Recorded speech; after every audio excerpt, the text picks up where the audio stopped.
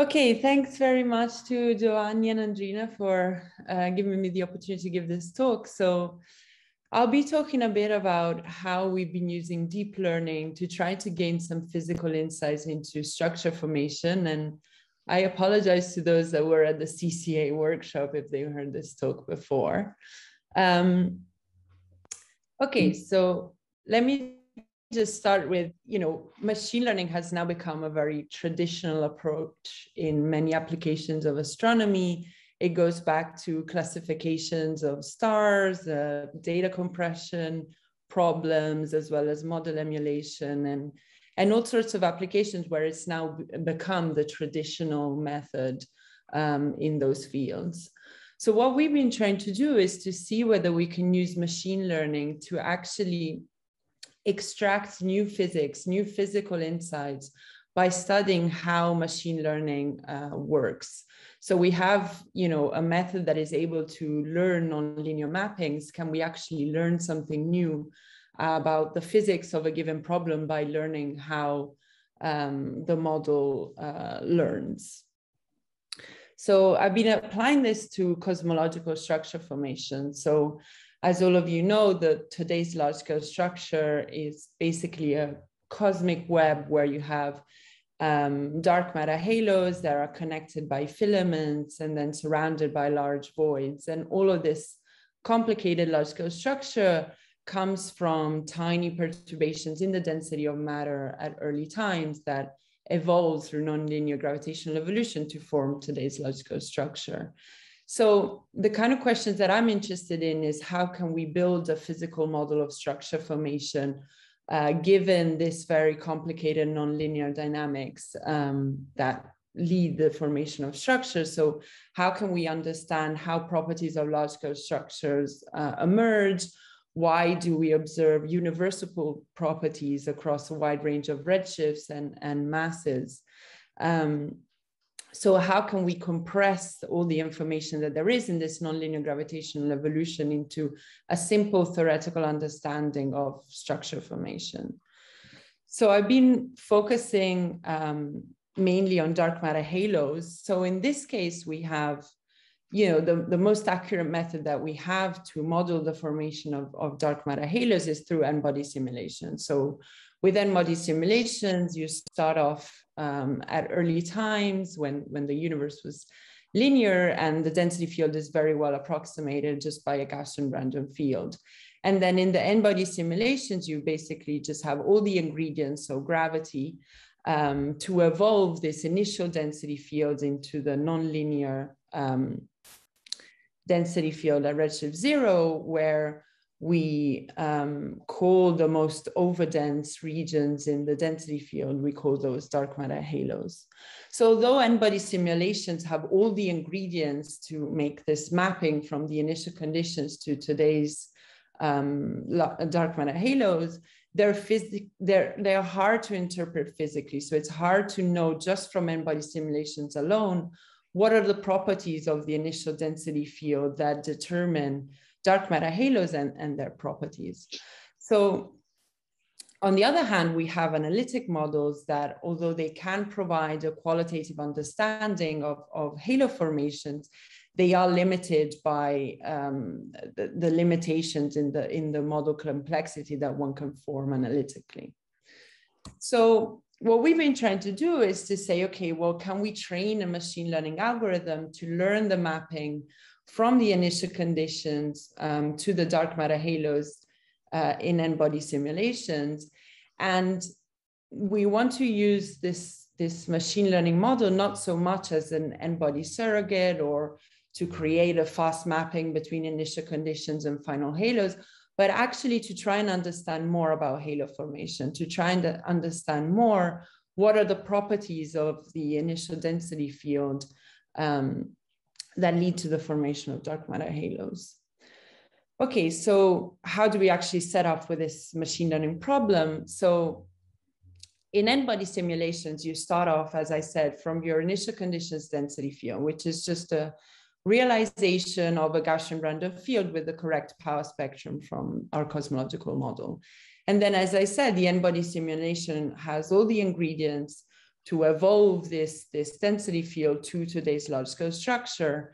And then from the n-body simulation, we can um, look at the dark matter halos that have formed and pick out some of their properties. So in this case, we focused on the mass of dark matter halos just because it's the primary characteristic of halos, but it can be generalized to any other um, halo property. So what we want to do is then to construct a 3D convolutional neural network that takes in as input um, the same raw initial conditions density field as that used by the n-body simulation and predict the final halo masses that result from gravitational evolution. And I want to stress that, you know, the, the CNN here is not intended to learn something like gravity, but it's just intended to extract whatever information content it can find in the initial conditions only about halo mass. Now, of course, for a single realization of the initial conditions, there are many, many different halos within one simulation and many different halo masses.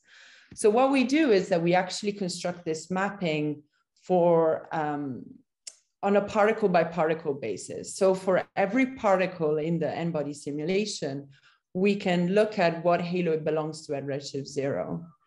So for every halo that ends up in a uh, for every particle that ends up in a halo, we can trace that particle back to its location in the initial conditions. And then the input to the convolutional neural network is basically a subregion of the initial conditions centered on the particle's position. Um, and that basically captures the environment around which the, the particle lives in the initial conditions. So the input is basically the initial density field centered on a particle's position. And the output is the mass of the halo to which that particle will end up in at redshift zero. So stop me if anything isn't clear, but basically you have for every particle a mapping between the, its initial region, like a subbox um, around that given particle and the label is the mass of the halo where that particle ends up at redshift zero. And then you can do, yeah. How big is the box, the little box? So the box is basically, a, has a length of 15 megaparsecs over h. One five? Yeah. Yeah. Um, so essentially, you can create this mapping um, for many different particles of, uh, across many different simulations, which are different realizations of the initial conditions density field. So, and, and train uh, the neural network on these different examples of dark matter particles so that the aim is basically for the model to identify which aspects of the initial density field become relevant to predict um, the final halo masses. Okay, so why are we actually using convolutional neural networks in the first place? And the reason is that convolutional neural networks have the nice properties that they don't need to, um, they don't require featureization. So typically with most machine learning models, you need to do some data compression to extract the relevant features from your data to then use as inputs to your uh, machine learning model. Now with CNNs, you don't need to do this. And so what we can do is like we can feed in this initial conditions raw data so that the, it's the CNN itself that actually learns what are the relevant features in the initial conditions to predict halo mass. Um, now the disadvantages is that CNNs are known as black, bo black box algorithms. So they're typically uh, very complicated um, neural networks that are quite hard to interpret. So hard to understand what information they're actually using to make their predictions. Um, so how can we actually extract physical knowledge from a deep learning algorithm if it's a black box in this sense? Okay, so first let's look at what the CNN model actually looks like. So at least in the machine learning community, it's, it's a fairly simple neural network. So it has six convolutional layers where basically the aim is to extract features. So as I said, the input gets convolved at every convolutional layer with a set of kernels, and each kernel is supposed to detect a specific features. So then by stacking uh, these convolutional layers, you're basically um, detecting low level um, local features in the first layers and then more higher level abstract features in later layers. And then um, after this feature extraction part, you have uh, two fully connected layers, which basically um, combine these features together to give you your final halo mass prediction. And the most important layer here is really this convolutional layer that does this feature extraction process. So I just wanted to show in more detail what this convolution layer does. It basically involves a kernel, which has a set of free parameters. Now in this um, cartoon, it's in 2D, but because our inputs are in 3D, we actually do a 3D um, convolutional um, layers. So you have basically a kernel that moves across the input and every time it generates a dot product with the overlapping region of your input. So the output uh, is basically the dot product between your values of your kernel um, and the region of the input that uh, is overlapping with it every time. Now there's a number of um, free parameters and choices that you have to make when you set up this model. And these involves how you make, um, how you let this convolutional um, process actually happen. For example, you can pad your inputs uh, with zero so that your kernel is always centered on, on, the, on every pixel of your input. You can choose different sizes for your kernels. And so, you know, you have to go through a process of, of trial and error of cross validation to test what are uh, the best choices of hyperparameters um, that work for your model. So uh, once you've set up uh, your model, the, the, question. Yeah. If we go back to the previous uh, uh, slide, there were a bunch of uh, numbers on the top where it says 32, 3 cube. Can you tell yeah. the 3 cube probably the size of the thing, but this means you're using 32 of them. Can you tell us what those numbers are? Right, yeah. So the 3 cubed is the size of the kernel. So remember that this is in 3D because our input is 3D. So the kernel is a 3 uh, cube matrix. And 32 is the number of kernels. So this basically sets how many features you detect in a single layer. So it's typical to basically go um, deeper in your network so that at first you have a lower number of kernels because you have a very high dimensional uh, input. And then as you stack more and more layers, you increase your number of kernels. So basically these numbers are the number of kernels and the size of the kernel. And what is this max pool in the middle? So the max pooling is basically a layer that decreases uh, the dimensionality of your of the output of the convolutional layer. So the convolutional layer uh, has an output that's like a matrix like this. And then this max pooling basically takes the maximum value within some region. So it can be uh, two cubes or some small region of your output you just take the maximum value so that you reduce the dimensionality of your um, problem. Now, you made a lot of choices. How difficult was it? I mean, because of all these numbers. Is this yeah. a thing, or you had to go a long time to figure this out, or? Yeah, this, this this takes ages of you know trial and error in the sense that I mean, of course, the, the community has now some established choices that seem to work better than others, but it's true that they're typically tested on images. So then when you try to apply those, you know, standard rules that pe- people typically use to, at least for us, to this cosmological settings, a lot of things worked in a different way. So yeah, you have to go through this process of trying these different hyper, and some things don't make a difference, uh, but others definitely do. Thank you. Yeah. So the next step is once you've set up what your model should look like is to actually train uh, your CNN. So this basically means finding the set of parameters so it's, it's mainly the parameters of your kernels that I was just showing you that minimize a loss function. So for the loss function, you can think of this in, in, in Bayesian terms um, where the first term is basically your likelihood term. So this tells you about um, the, the, the difference between your data, which is in, in this case, the true labels of, of halo masses, and those resulting from your model, which are the predicted halo masses from the, your, your, uh, your neural network. And so here you have to make a choice of a likelihood and typically people choose something like a Gaussian likelihood that give rise to the typical mean squared error loss function. For us, we found that a Gaussian likelihood didn't, didn't describe the data well, but instead a Cauchy likelihood that has some fatter, fatter tails than, than a Gaussian works much better. So this uh, predictive term is basically the negative log of a Cauchy likelihood. And then the second term is a regularization term, or you can think of this as a prior over the weights, as a prior over the, the, the kernel parameters.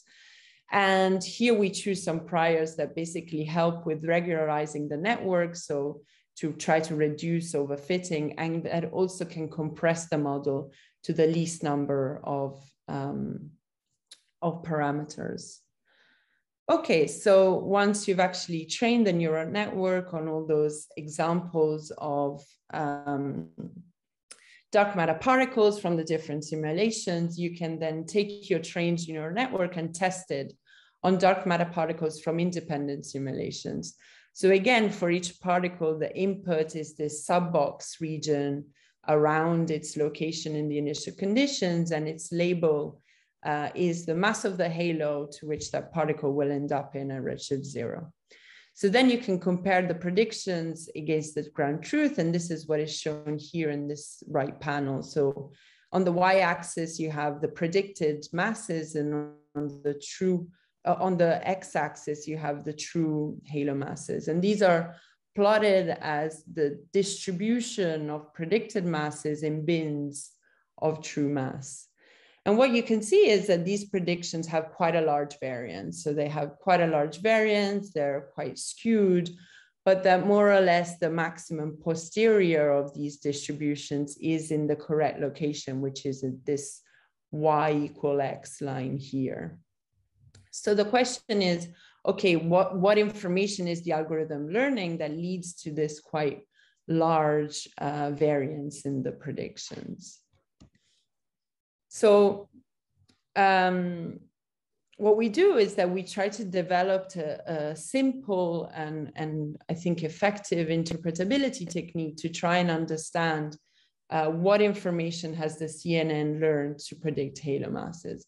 So the technique is really simple. What you do is that you remove part of the information carried by the inputs, then you retrain the model and then you measure the resulting change in the model's performance. So by removing part of the information, you can test whether that information that you removed had relevant information to, to predict your final output. So in this case, what we do is that we want we removed anisotropic information from the initial density field.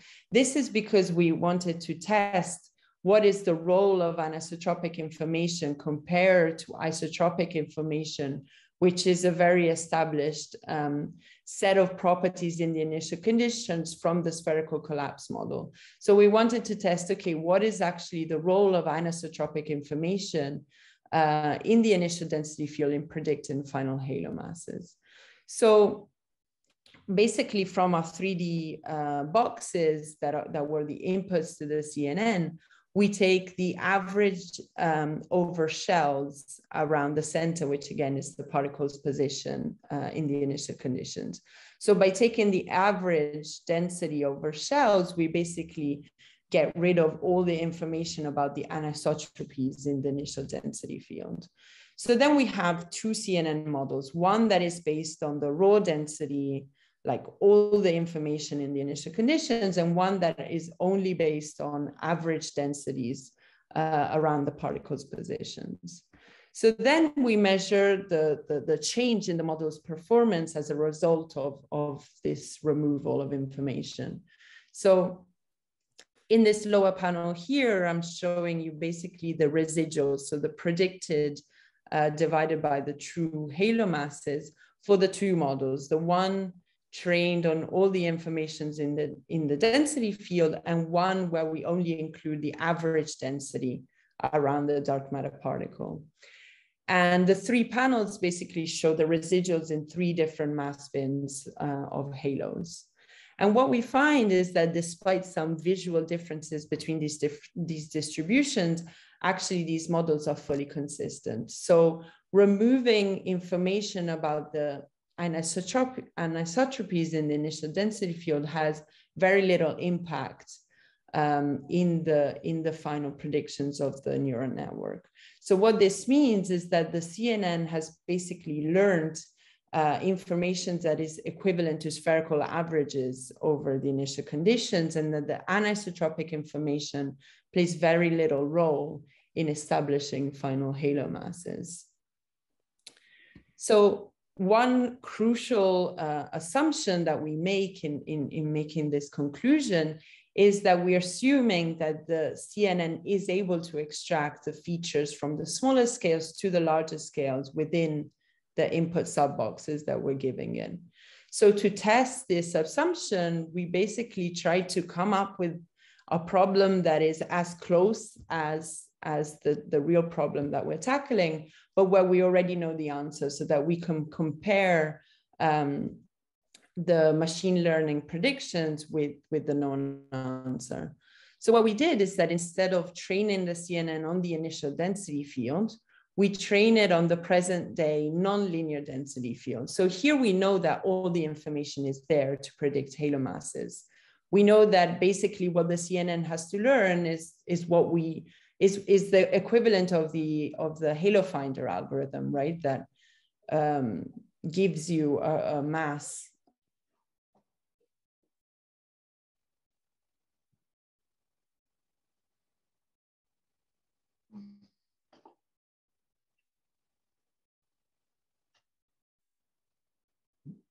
We didn't lose connection here.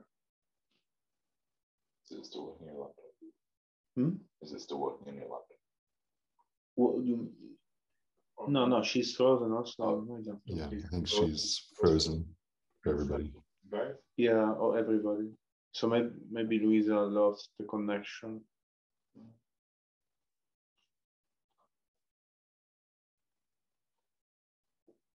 Well, we only can only wait, I think. Yeah, maybe. Oh, yeah, maybe we can send a message to, to uh, let me send uh,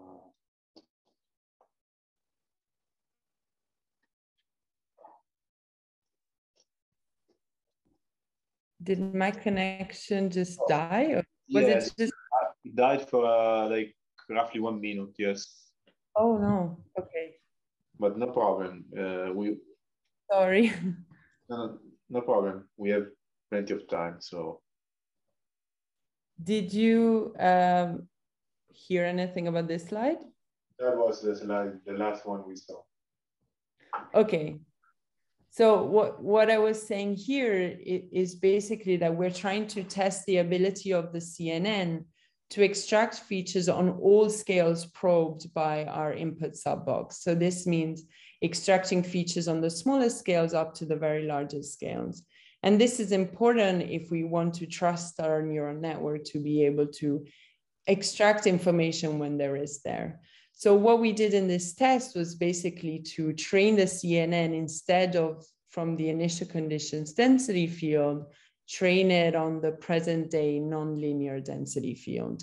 So in this case, we know that the, all the information is there. We know that what the CNN has to learn is basically our Halo Finder algorithm that predicts a mass from the Redshift zero density field. And so what we find is in fact that the CNN can give you perfect, perfect predictions, meaning that our CNN architecture is suitable to extract via its convolutional layers features on the smaller scales up to the largest scales, which are needed to predict the mass of the smallest of the smallest halos here and the largest ones over here. Okay, so what I've basically shown you up to now is that we used an interpretability technique that was very helpful to test the hypothesis. So we needed a hypothesis to start with, which was, okay, what is the role of anisotropic information in predicting halo masses? And by removing that information and measuring the change in the model's predictions, we we were able to infer uh, what information is, is the CNN learning from the initial conditions. So now the question is, can we actually go beyond testing known hypothesis of structure formation and try to extract new knowledge from neural networks? So of course that there's many ways to do this. And what we're trying to do is to use basically a data compression um, technique. So compress the relevant information in your, in your data into a low dimensional representation and then try to interpret this low dimensional representation uh, with respect to physical um, properties of, of your inputs or of the large scale structure. So um, this is just showing you some work in progress, like related to, to this concept. So um, here the setting is slightly different. So whereas before we were training on the initial conditions and predicting halo masses, now we train, so our input is the nonlinear density field, so the evolved density field, the redshift zero around a given dark matter halo. And the output is the radial density profile of that halo.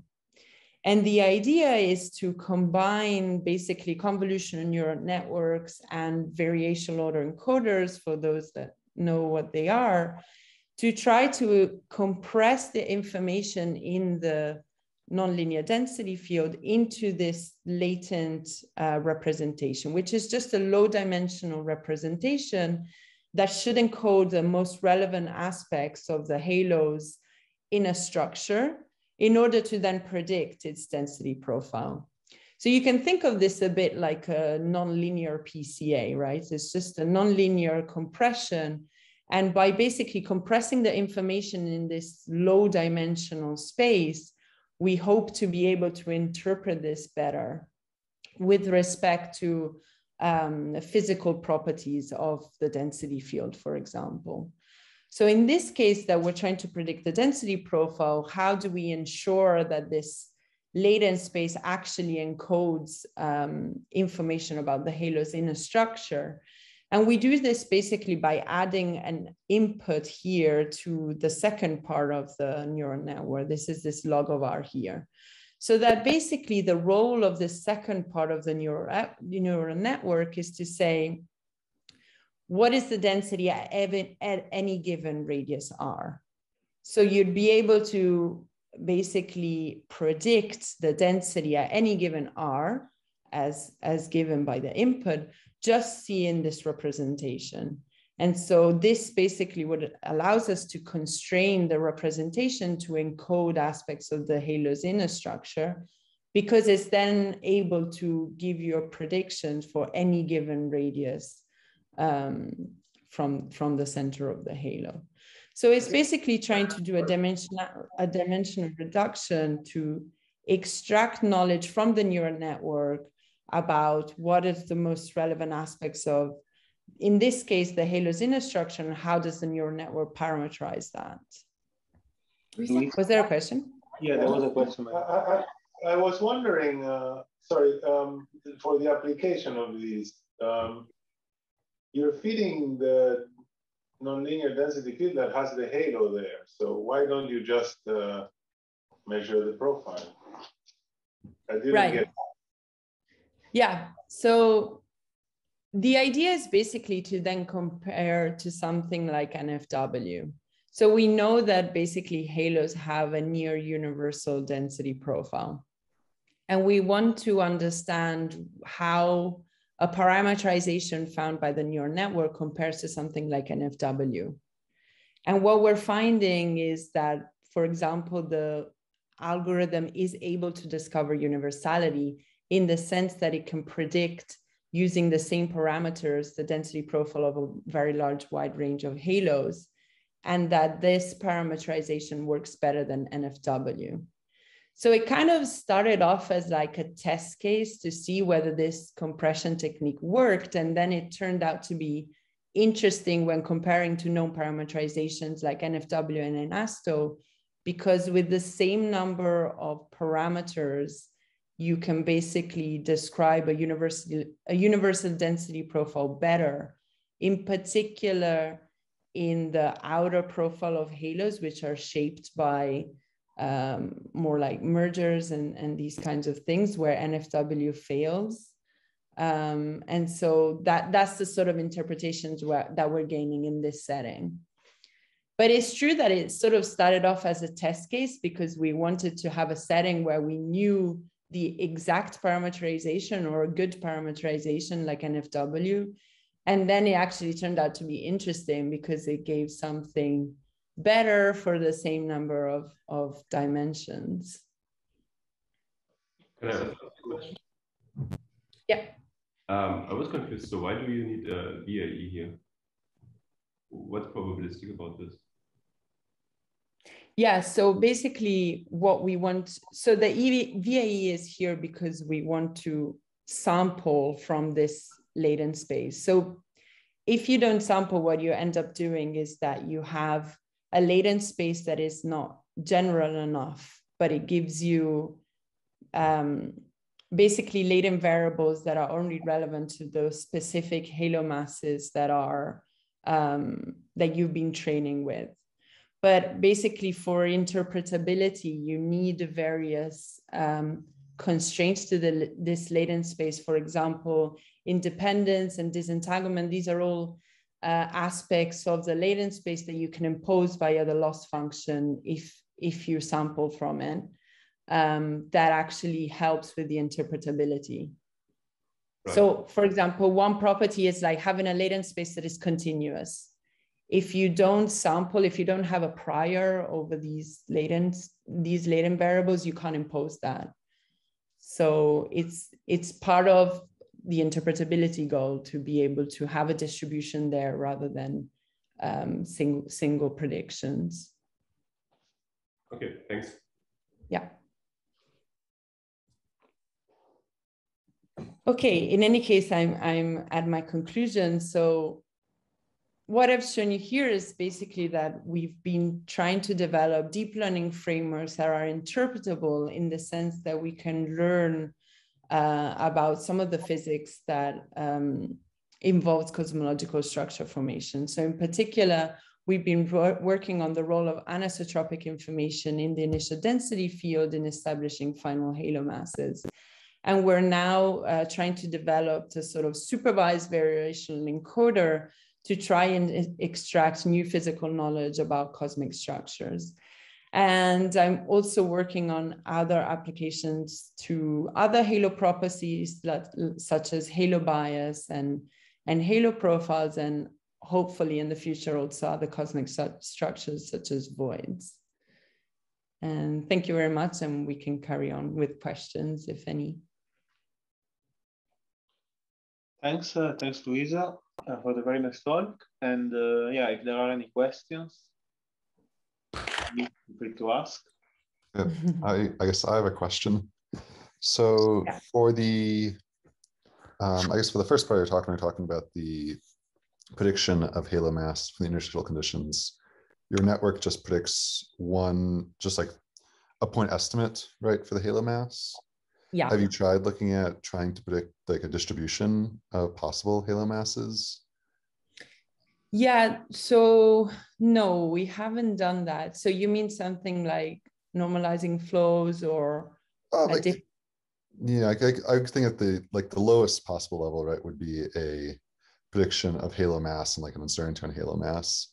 I was, you know, the mm-hmm. more advanced thing could be something like using a like a Gaussian mixture model prediction where it predicts like some superposition of various Gaussians at different values um, to represent the posterior. Yeah. Yeah, no, we we haven't tried that in in this in this um, setting. I think mainly because we were comparing to, for example, analytic models that also make point estimate predictions about mm-hmm. halo masses or So we didn't set up in this way, but but I agree that it would be interesting to, you know, always include an, some sort of uncertainty in in the deep learning problem. Mm-hmm. Yeah, the reason why I kind of bring it up is it seems like your kind of posterior estimates for those different mass bins have a really strong like regression to the mean effect where it looks like it's all everything's kind of like particularly on either extreme is very much pushed towards the mean yeah. value. And I think that's yeah. probably just completely a a artifact of the fact that you have like limited mass range that you're training over. Um, and so by including an uncertainty term, maybe that would mitigate that effect. Yeah, I mean, I think that's a general thing about neural networks, right? They're not great at extrapolating beyond the training set. Yeah. Or so even this, on the edges of the training set. Or even on the edges, exactly. So this is actually one of the reasons why we adopted the Cauchy likelihood is because it was much better at actually capturing these tails mm-hmm. uh, in the posterior distributions, and they actually improved very much compared to um, assuming a Gaussian likelihood but yes, I agree that there is some effect there in in that could be captured by an uncertainty on on the mass values. Mm-hmm. Yeah, thanks. Yeah.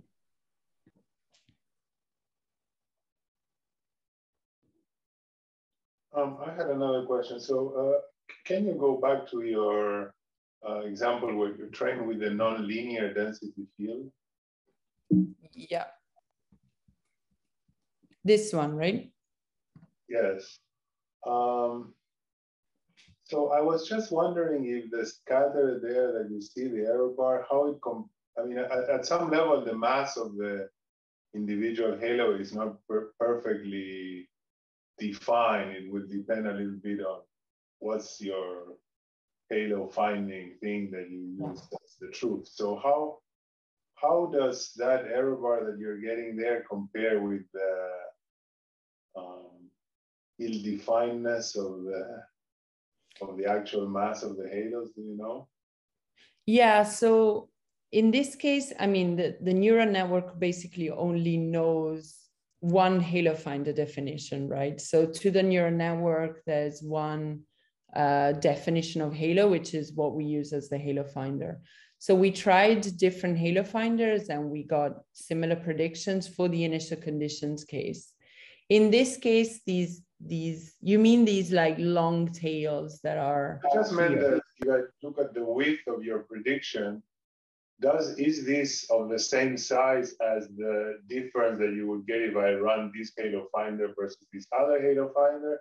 Or you're paying a price for doing this as opposed to so, so I don't think this this the the the error here has has an it's it's the halo finder has an impact on that. I think these are actually you know within within these bin, bins these are very minimal errors.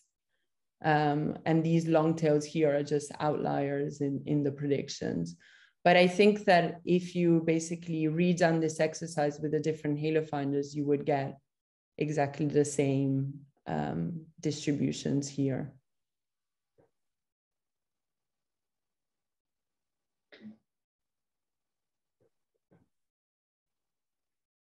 Please, Zach, uh, if you want to ask. Yeah, thanks. Uh, sort of a similar question to the last two, but uh, relating to, to this slide and then the previous slide that had the um, similar plot where instead of doing the present day field, you did the initial condition. Mm-hmm. Um, I, I, guess I'm just curious, uh, maybe you mentioned this, how um, how you interpret the fact that when you feed your network the initial conditions versus the present day field that the the scatter is so much larger? Um, like is there some sort of underlying mechanism that uh, there's some so there's some information that just can't be accessed or, or or what what's your interpretation of that? Right. Yeah that's that's exactly right. So in this present day density field i mean all the information is again like you can think of the cnn as just learning the algorithm of the halo finder right to predict the mass whereas in the initial conditions what it's trying to do is to um, retrieve the information contact from the linear density field to predict one non-linear property of halos, which is the mass. And so what it's missing there is basically all the gravitational evolutions that leads to the final halo mass, right? So it's just basically learning an effective mapping between initial conditions and halo mass, but it knows nothing about all the, the, the gravitation evolution that leads to that mass. So that's why the, the, the information content in the initial conditions is so much lower than that at redshift zero, right? Because all it's learning is basically spherical averages over the position of the particle and neglects everything that happens later uh, in the time in the time evolution. So could that kind of be seen more as like a limitation of the particular CNN architecture you're using, as opposed to something kind of fundamental? I'm just thinking that there are some works who are able to, like, I know at the, was it Yin Li's work at the CCA, he was able to like mm-hmm. make a mm-hmm. CNN to just do the gravitational evolution from initial conditions to late time. Right, but I mean that that's a bit different, right? Because they were taking the whole field and were predicting at every voxel at every voxel the new field um, from 2LPT to nonlinear or something like that. That's a different problem than asking what is the information around around a given dark matter particle to predict just halo mass. So it's not that there's a limitation in the network's capability, it's just that it's extracting the information that there is in the initial conditions about halo mass, and that turns out to be spherical averages over uh, the particle's position. Do you see what I mean? It, it doesn't mean that gravitation collapse is not anisotropic. Of course, of course it is, right? But we're only training it to learn what patterns can you find that are relevant to halo mass. So it's just a different um, learning task.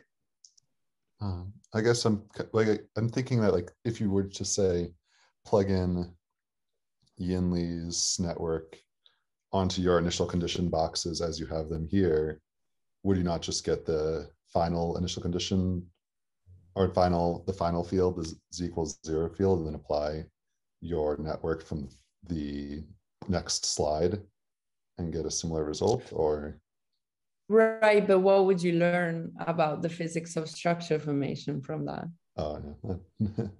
right know, right that, that's, mm-hmm.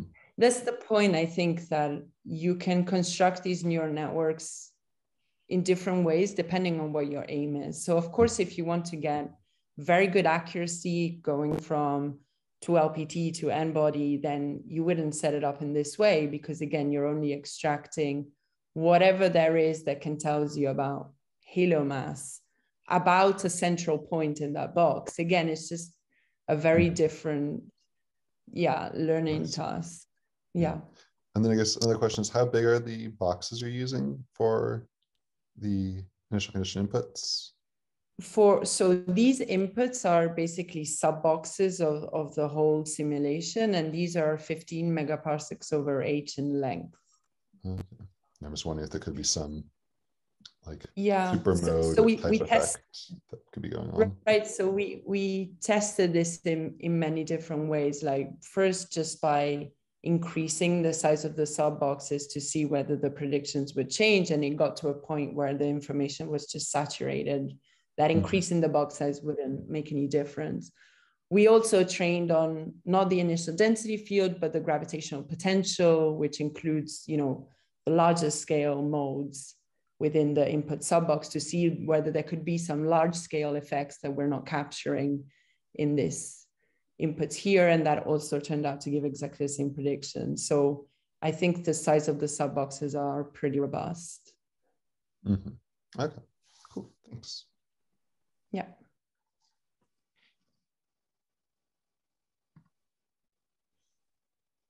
Um, are there other questions for Luisa? Uh, yes, we have one more. Is it maybe possible that by um, um, constructing the density field, which you're learning on, um, you lose small scale information? Um, so the the the size of the grid basically in this input subbox is exactly the grid size of the simulations. So right. at the small scale level, we're we're safe because we're using the actual grid size of the simulation. Mm, not really, right? The the displacement field would have more information? Sorry? Wouldn't the displacement field have more information? I mean, you you basically just have a binary, right? In which voxel your particle falls, but the exact distance by which it moves um, is not included. So the displacement field and the density field will be there's a one-to-one mapping between the two. So it would make no no difference in terms of information content in one versus the other. In the initial conditions, they're they're exactly the same you can derive one from the other, right? In the nonlinear field, then you can have different realizations of one versus the other, but in the initial conditions, it's the same. Well, I mean, the, the density field is it's just a number of particles in a voxel, right? But uh, I don't really know by how far a particle has moved. How what? Sorry. How far from you know, its grid point, the particle has moved. Oh, but the, but that is captured in the density field. So it, it's it depends how you compute the density field, I guess. But what we're doing here is some basically SPH smoothing around the n, I think it's 32 nearest particles in the initial conditions. So then for every particle, you have a density field and then you can translate that to the grid size of your input box. Okay. Yeah. So you can compute basically a density for every particle and then translate that into a grid, into a linear grid. Yeah, okay. Uniform grid, yeah. Do you know if the error that you're making this prediction um, is related at all on which particle you're looking at, meaning perhaps the ones that are in the outskirts of the yeah. region that just have fallen or something like that are worse yeah. than somebody else or something? Yeah, that's definitely true. So we find that the innermost particles, so in the, in the inner region of the halos, have a much better predictions than particles in the outskirts. So yes, in the paper we have um, you know, plots showing the distinctions between inner particles and outer particles. And there is a difference in the predictions there, yeah. But, but we find that anisotropic information is not relevant for all these different classes of particles. So we, we tested it for, you know, inner particles, outskirts particles, low mass halos, high mass halos, and, and, and different categories like that. And if you were to combine the predictions that you make from all the particles in the halo, uh, would this be, be, be very, is this just because you're sent, is part of the scatter just because you're picking one particle only? Or? Um, what do you mean, sorry? So, so here you're taking one particle and getting from that particle only, you're trying to get the information of the mass of the entire halo. But imagine that you did this for all the particles that are in this halo, for each of them, and you average that or something, you combine it in some way. Maybe it's much better than this. So you're saying in, in some way inform the CNN that all these particles end up in the same halo? Yes. Yeah, I mean, that also defeats the point a bit of, of learning from the CNN, right? Because in principle, what you would want to do is make uh, predictions for every point in the density field without knowing a priori where those particles will end up, right? In that way, you would have to sort of know already what halos they end up in in order to tell it to the CNN, even, even at testing stage. So it's a little it's a, it's it's cheating a bit, I think.